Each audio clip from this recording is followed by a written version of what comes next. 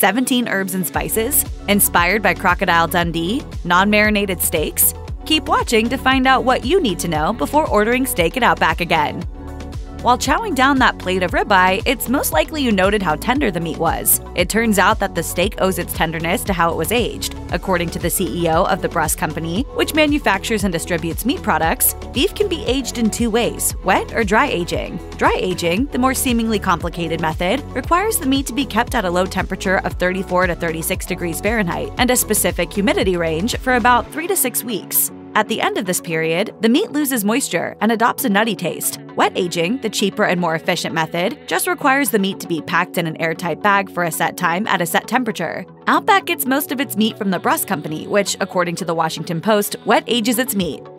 There are a lot of ways out there to make a steak, but according to Chew Boom, Outback offers three different options to customers on how they want their steak to be cooked seasoned and seared, char grilled, and slow roasted. It should be noted that until 2020, the chain steak could only be ordered either seared or grilled. According to Brand Eating, they had previously given customers the option of having the sirloin slow roasted, but their revamped menu neatly divided the steaks based on the way they were cooked.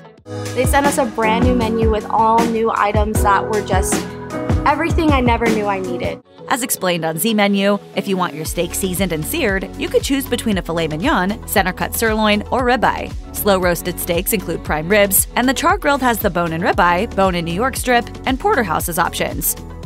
As joint venture partner David Burns told Beef Magazine, 60% of Outback's menu includes beef. That's a lot. To keep serving the promised menu, the chain buys half a million dollars worth of beef per restaurant. Tim Gannon, co founder of Outback Steakhouse, also confirmed that they use high quality beef. Recounting his early days in the restaurant business, he said that it was, in fact, New Orleans great chef Warren LeRuth who told him to use above par meat and even suggested the Bruss Company as a potential supplier. Gannon spoke about the first time he sampled the Bruss Company's meat, telling Inc., I thought that meat was meat, but there was a huge difference. So one of the best decisions we made was going with Bruss, even though it was a little more expensive. The quality of meat might be great, but it is not the best. According to a former food server and restaurant manager on Quora, all the beef at Outback is USDA Choice certified, which is the grade given to the meat with the maximum marbling or fat content. The chain has a range of surf and turf combinations. Their sirloin and ribeye steaks are available with a side of barbecue shrimp on the Barbie or coconut shrimp, and a plate of Victoria's filet mignon is decorated with a soft and tender lobster tail on the side. Outback, which started in 1988, has served seafood as part of the menu since its fledgling years. As mentioned on the website of the food service distributor Performance Food Service, the seafood and meat concept might have originated at Seattle's Eye of the Needle restaurant during the 1962 World Fair. While the story of its provenance is sketchy, what we know is Outback Steakhouse has embraced it like its own. If you like your buttered shrimp sitting next to that beautifully crosshatched steak, you probably know that Outback also keeps introducing steak and unlimited shrimp combo for precious little bursts of time. Despite Outback sirloin receiving mixed reviews, it is, in fact, the most asked for steak at the chain. Sirloin steak alone brought in 35% of sales for the chain, according to a 2007 Beef Magazine report. The cut, which is taken from the hip of the cow, is also one of the most common steak cuts. While a beef sirloin can include top sirloin, bottom sirloin, and tenderloin, the term sirloin specifically refers to the bottom sirloin, which is the cheapest of the three. And if the top sirloin, the more expensive and tender portion, is served, it is usually referred to by its full name. According to the Spruce Eats, the tenderloin, which is essentially a muscle along the cow's spine, is extremely tender and included as part of a porterhouse, T-bone, and filet mignon. It was in 2016 that the chain introduced center cut sirloin to its menu, which, according to Simply Beef and Lamb, are lean cuts and best cooked rare or medium rare. Here at Outback, we've got two new ways to steak heaven because now every sirloin is a tender, juicy, centre cut sirloin. A quick scroll through Outback's online menu shows that there are six signature steak options a thick cut of Victoria's filet mignon, a tender center cut sirloin, ribeye, bone and ribeye, Melbourne porterhouse, and bone and New York strip. While the 18 ounce bone and ribeye, though a tad pricey, has been touted as worth the cost, the filet mignon, reviewers noted, is a pass. Beyond the steak section of Outback's menu, there is also steak camouflaged as fries, known as the steak frites, and steak is a topping on fettuccine noodles. The founders of Outback, as reported in Funding Universe, had no doubt that there would always be a demand for steak. One of the founders, Bob Basham, recounted the days prior to the launch of the restaurant, saying, Our research had really showed us that beef and prime rib were still the number one thing people went out to eat. The fact that a majority of Outback's menu continued to be steak, even three decades since the launch, says enough about the trio's good decision. I love to create flavors that people find exciting and, and, and heartwarming.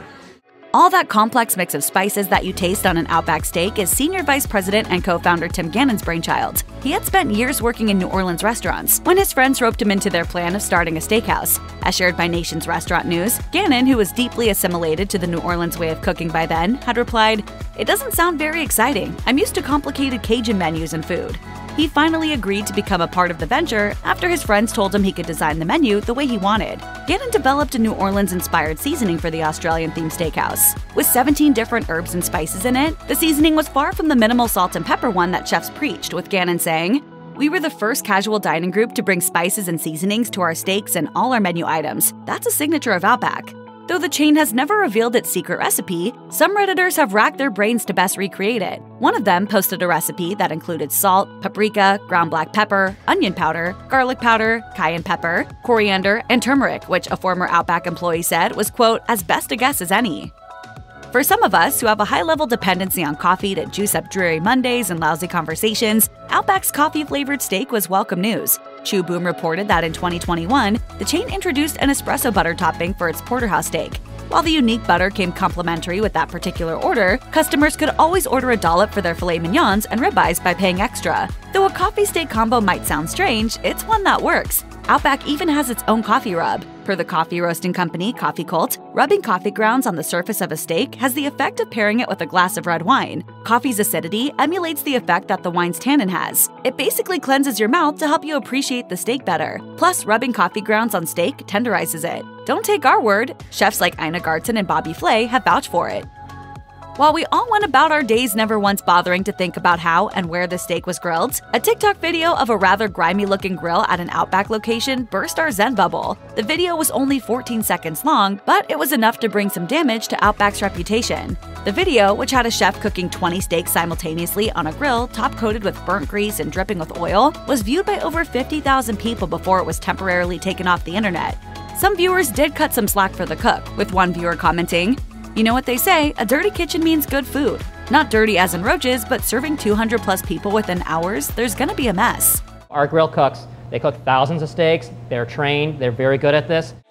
A Mashed 2022 poll found that Outback steaks are more loved than those of Longhorn Steakhouse, Morton's, Fleming's, or even the Capital Grilles. From the ratings provided by 600 odd steak lovers across the U.S., Outback is the third best steakhouse in the country, after Texas Roadhouse and Ruth's Chris. While this is a good validation for the chain, it's not the only one. Previously, the restaurant rating company Zagat voted it number one best steak in the US among full service chains. Zagat survey had 6,000 diners rating 137 chains for their food, facilities, and service quality. Outback Steakhouse was rated number one not just once, but four times between 2009 and 2012. Accepting the recognition, the senior vice president of culinary innovation at Outback Steakhouse, John Lee, said, all of our beef is grain fed, aged to perfection, hand trimmed, and then grilled to order in our restaurants. We've always sought out the best, freshest ingredients to create great tasting, signature flavors. We start every day fresh by chopping, dicing, and stirring fresh ingredients just the way our customers like it.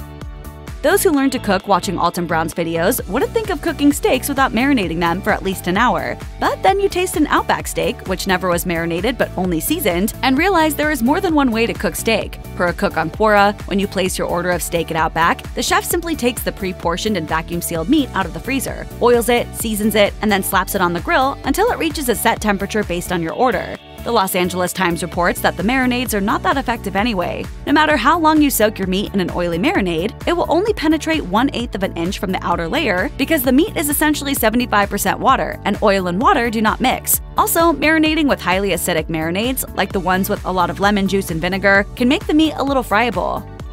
The co founders of Outback, Chris Sullivan, Bob Basham, and Tim Gannon, were all colleagues at Florida Steak and Ale Restaurant, after which Gannon moved to New Orleans and ventured into restaurant management. He and his mates hatched up a plan for a new restaurant that would serve American food and Australian fun. According to Funding Universe, the movie Crocodile Dundee has inspired them to do something that would celebrate the last of lands. Gannon stayed at Basham's house for months, chalking up the recipes that would go into their steakhouse's menu in his kitchen. The first Outback location opened in a small shopping center in Tampa and featured the bloomin' onion and steaks for as little as $9.95. Customers also had the choice of ordering kookaburra wings, Aussie cheese fries, and jackaroo chops. Gannon's food experiments inside a small Tampa kitchen became a hit big enough to spread across the country, defining the menu in about 700 odd Outback restaurants in three decades.